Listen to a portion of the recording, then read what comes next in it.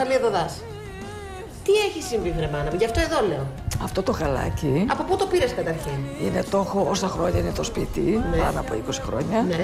Τι έγινε με τη σταματίνα; Τι έγινε, Δεν ξέρω. Είπανε κάτι για το σπίτι, ότι είναι λίγο.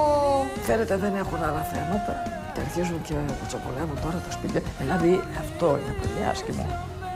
Σε ενόχλησε πέρα, γιατί και εγώ τώρα κάνω πλάκα, Κοιτά, Κατερίνα. Σε ενόχλησε αυτό; Έρχονται να πάρουν μια συνέντευξη. Έρχεται το κορίτσι να πάρει ο δημοσιογράφος να κάνει τη δουλειά του. Νομίζω ότι είναι η Νάντσι Παραδισανού η καλή συνάδελφος από την, Κατερίνα, από Μετά την από Κωνσταντίνα. εκεί, Αρχίζουν και τα σχολεία. Τότε τι μας βγάζετε; Μην έρχεστε καθόλου.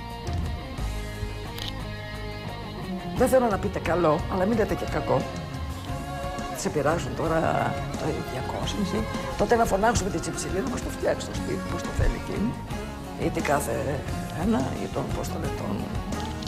Ποιο είναι το. Όλους αυτούς εκεί Τον που Φραγκολιά, λέγανε, η, ναι. η Ελένη Ναι. Τσολάκη και ο Και, Παπανώτας. ε, τα παπούτσια είναι δερμάτινα, ξέρω εγώ. ε, αυτό είναι δερμάτινο.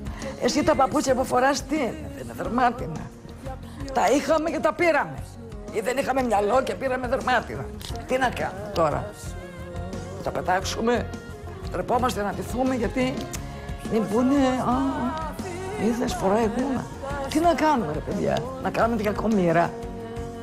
Δούλευα και τα έπαιρνα. Ήταν της δουλειάς μου πράγματα και τα πήρα.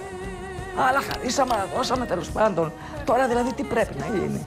Φοβόμαστε να μιλήσουμε, να, να τυθούμε, να. Τα έχουμε.